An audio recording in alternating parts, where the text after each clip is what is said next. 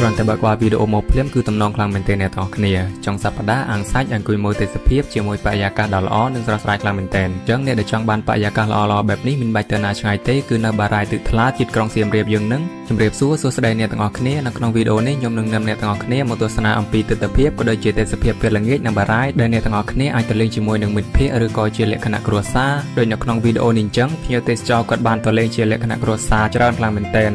ហើយអ្នកទាំងអស់គ្នាក៏អាចទៅលេងកំសាន្តបានមើលថ្ងៃលិចថតរូបលេងហើយយើងក៏អាចចុះងូតទឹកលេងបានផងដែរមើលទៅសប្បាយដូចនៅសមុទ្រចឹងអ្នកទាំងអស់គ្នាហើយគេក៏មានទូកសម្រាប់ដឹកភ្ញៀវទេសចរទៅទស្សនានៅប្រាសាទមេបុននៅក្នុងបារាយនឹងផងដែរ